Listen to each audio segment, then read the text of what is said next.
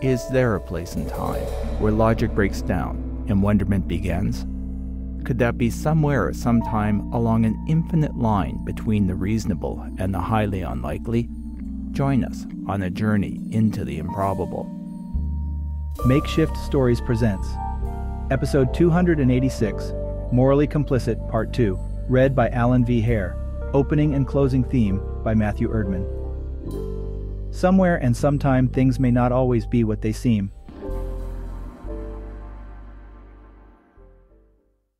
Kenzo stopped outside the building and directed his contact lens HUD to display the message again.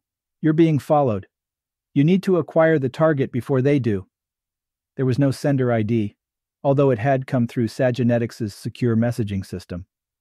He didn't need to be reminded of what was at stake. He had to find Dr. Morales and get her back to Cascadia so she could be charged along with the other Aphrodite conspirators or face prosecution for not reporting an embryo theft scheme. So, what if someone else got to her first? They wouldn't be able to arrest her.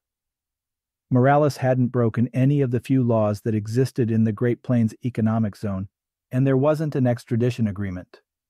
She would have to go back to Cascadia willingly, and he knew the only way to convince her to do that.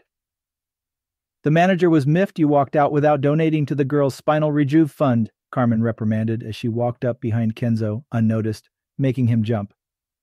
I went back in and gave him 200. You never know when you might need someone's cooperation again. Plus, I feel sorry for the girl. I wouldn't want to use an exo for the rest of my life, no matter how good it was. Stem cell spinal regrowth is the only real fix, and it's expensive.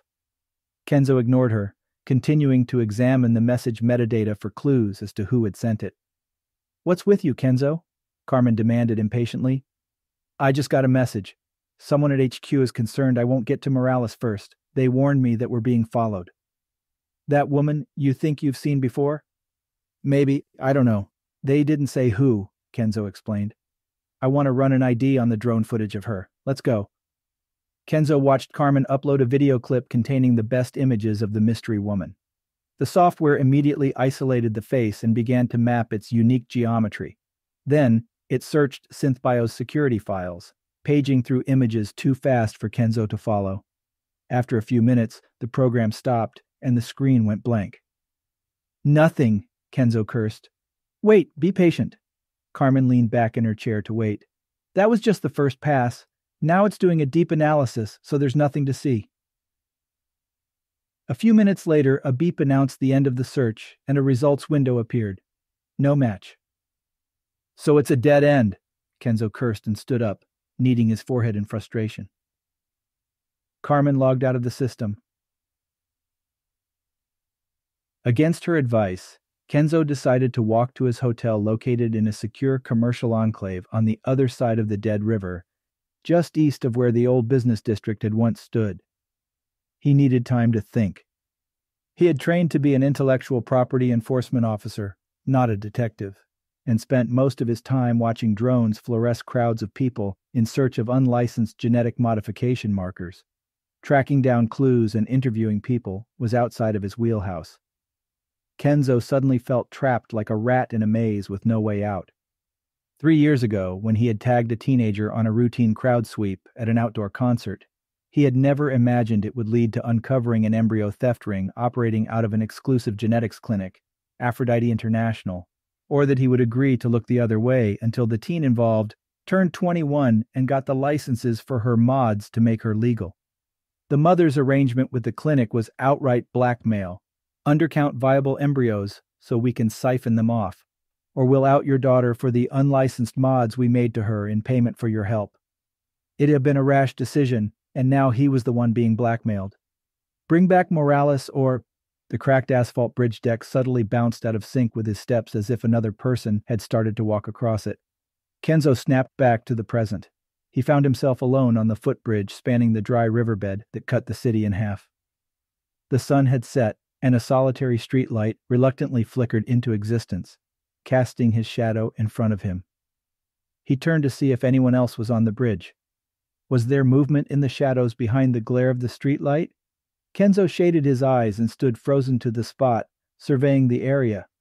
When nothing happened, he turned back and began to walk faster. Every instinct told him he wasn't alone, that someone was lurking in the darkness behind him. With each step, the tension coiled tighter within him, his senses on high alert.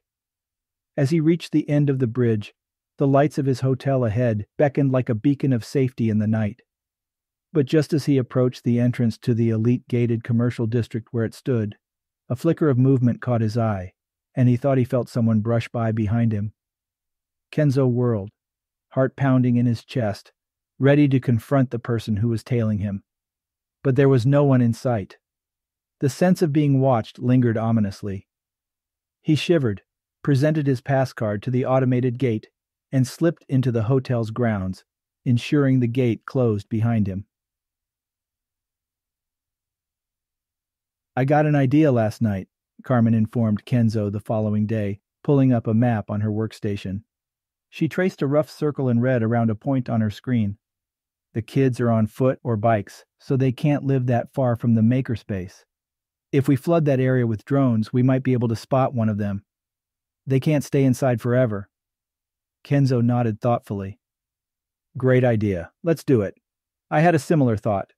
Pull up a list of small gene mod clinics within walking distance of that area, he said, pointing to the rough circle on the screen. The Maker Space Manager said the kid's mother worked at a small modder clinic, so it can't be that far away either. Who knows? We might get lucky. A quick search produced five clustered together on the far side of the old business district. They were on the edge of walkability, but still reachable for someone who wanted to avoid autocabs and rideshares where they could be tracked. We should check those out, Kenzo urged. Fifteen minutes later, at Carmen's insistence, they had walked a few blocks from the office, cutting up side streets and back lanes, checking to ensure they weren't being followed before hailing a random autocab. She gave it directions, and they got in. As the cab negotiated the potholed streets, Carmen turned to Kenzo. I warned you not to walk. That area outside of the hotel enclave is sketchy. Are you sure someone followed you last night? It was more of a feeling, Kenzo admitted. I didn't see anyone. Maybe it was meant to intimidate me, to warn me off the case. Maybe, Carmen said, turning away so Kenzo couldn't see her knowing smile. The cab slowed to a stop, and they got out onto a dusty street. The wind had picked up, blowing soil and sand from nearby vacant lots into the windowless skeleton of a glass tower looming over them. Across the street from it was a xeriscaped park surrounded by razor wire, where a security bot was checking passes at its entrance. This way, Carmen directed and began walking toward a low rise campus style building complex that had, at some point, been plopped down to replace a crumbling block of office towers. Three of the shops are in there, she nodded at the complex. They made their way across the disintegrating, sun baked hardtop to the entrance. Carmen flashed her ID through the plate glass, and a private security guard on the other side buzzed them into a luxurious multi story atrium lined with small stores. She discreetly slipped the guard a wad of cash, which quickly disappeared into a pocket. He made a show of checking something on his handheld, then waved them past. Access is restricted to people from the enclaves, and the place is not even close to high end, Carmen complained. But around here, a bit of cash opens every door. She winked and led Kenzo up to the second floor past clothing, jewelry boutiques, coffee shops, and small restaurants. Being relatively early, there were only a few shoppers who looked in no hurry, as if they weren't worried about returning to a job. Carmen turned into a smaller corridor where professional services were located. The first mod clinic was a trendy looking studio geared to cosmetics hair, eyes, skin, and minor physical adjustments. The owner, a modder with lime green eyes, who had obviously indulged a bit too many times in their products, claimed to work alone but pointed to another clinic on the main floor where some older people worked.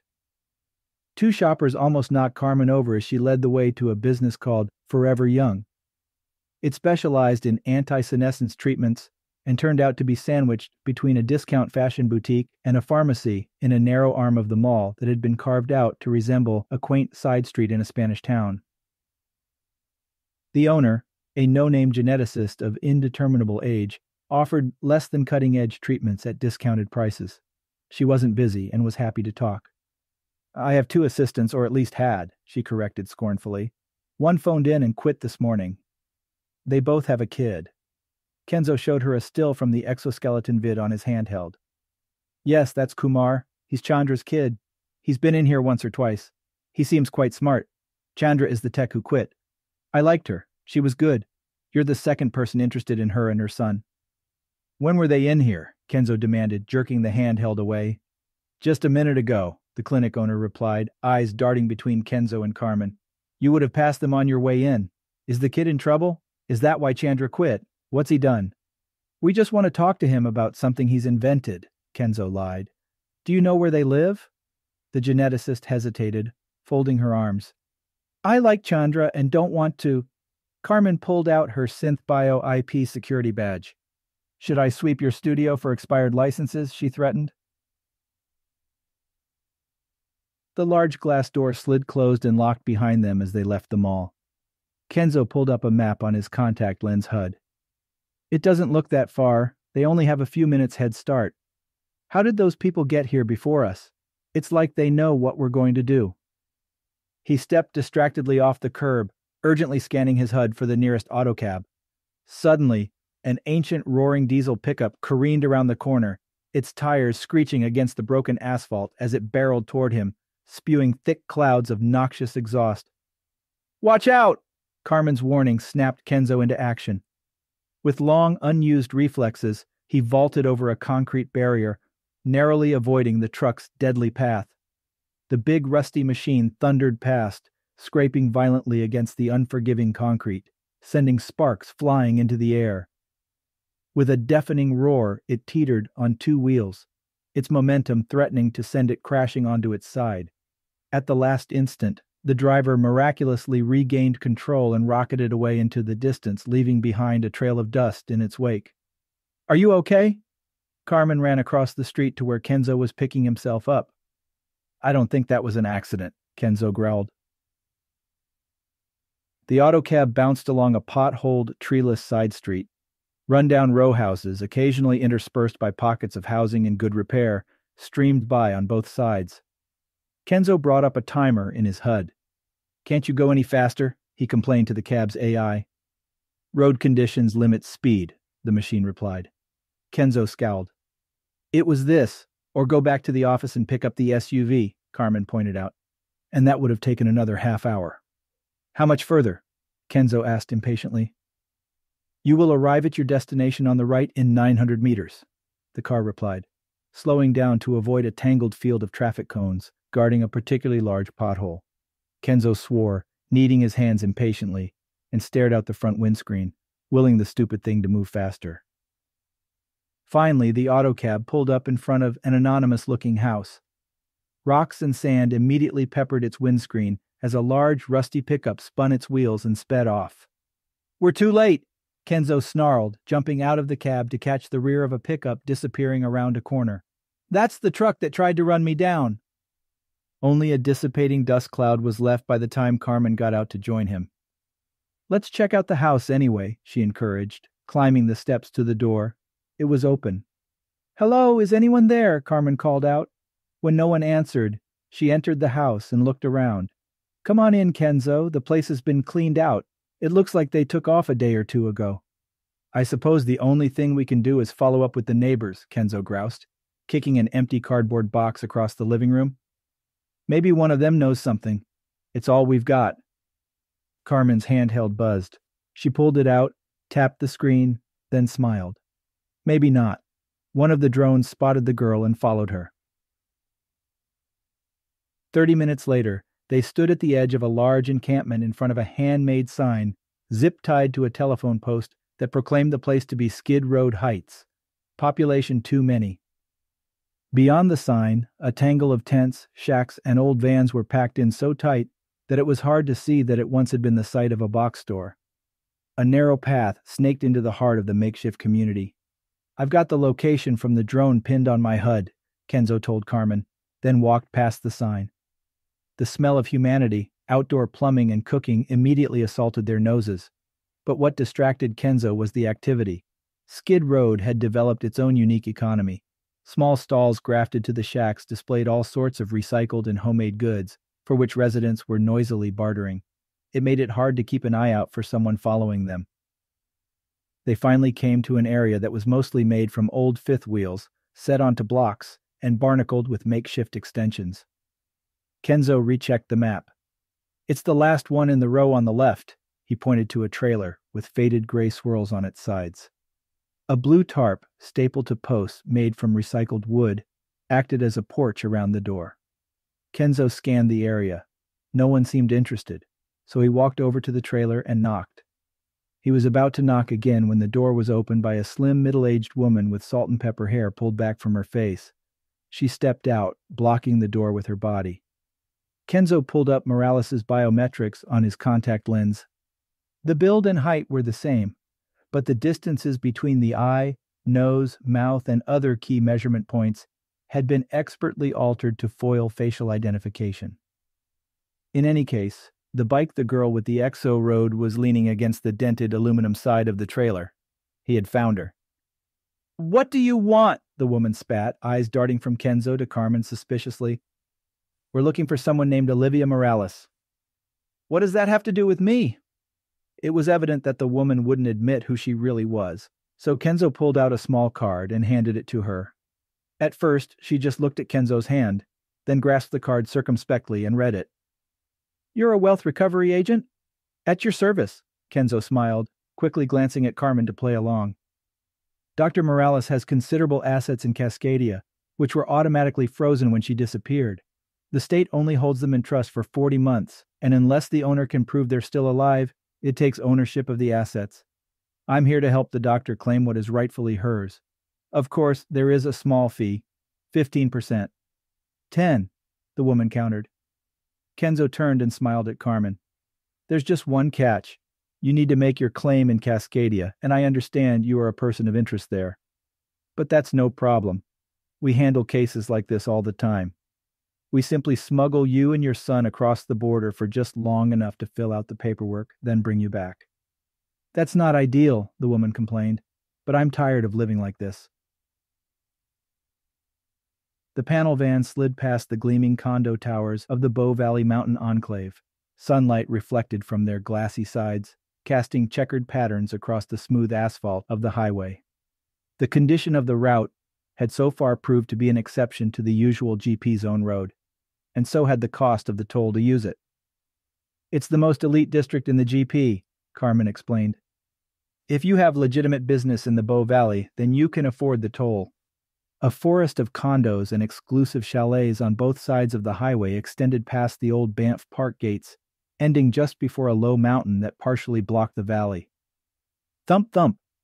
The noise came from the thin wall separating the cab from the cargo area, where there was a hidden compartment with a space just big enough to hide two people. Morales and her son had just barely squeezed in. Kenzo was surprised how quickly Carmen had found the van considering biosynth investigations focused on crops and plant patent infringements, not smuggling. How long? the muffled voice demanded. It's getting stuffy in here. Kenzo just had to stay calm and focused for less than an hour, he reminded himself. After that, he would be able to put the whole Aphrodite fiasco behind him, so he deferred to Carmen. Another 15 to the turnoff, then maybe 40 minutes from there to the border, she estimated. Another 20 put them past the turn and onto the Banff Windermere Highway.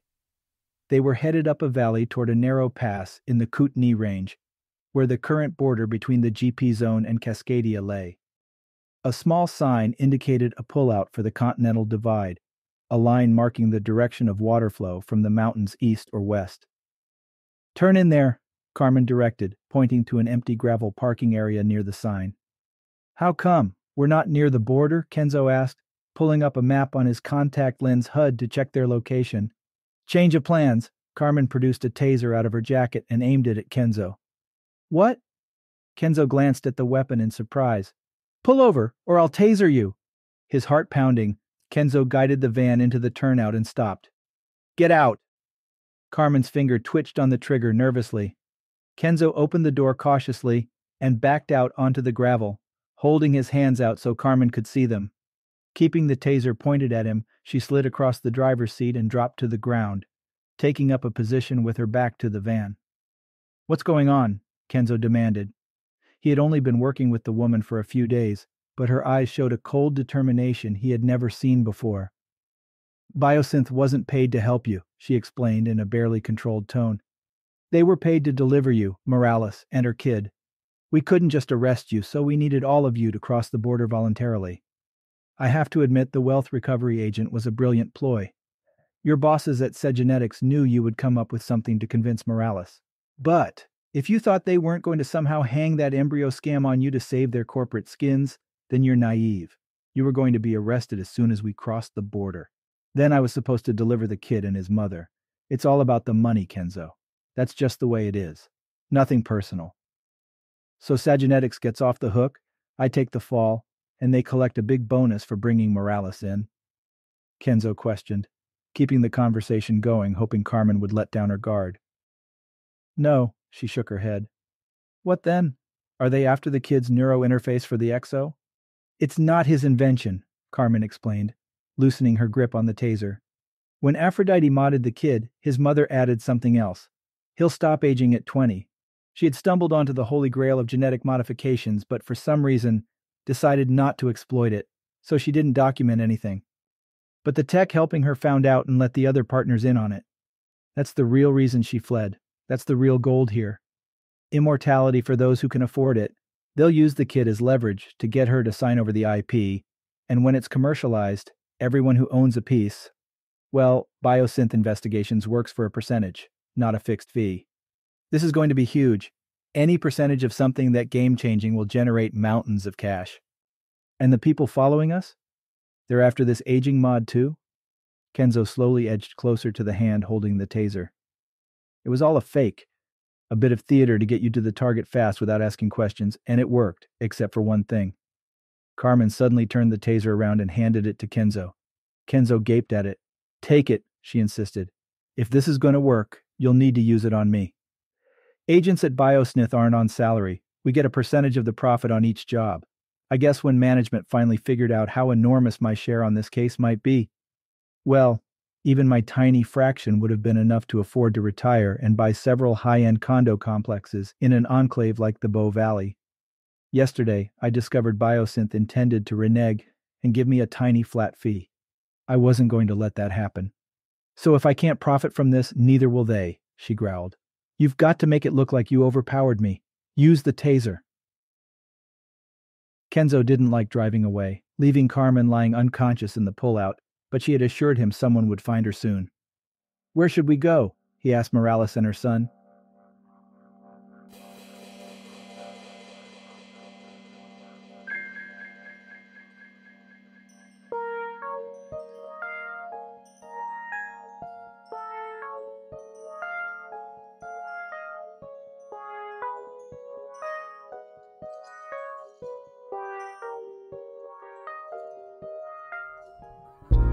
You can help us create original content twice a month by heading over to kofi.com slash makeshift stories and making a one-time donation or becoming an ongoing supporter at patreon.com slash makeshift stories.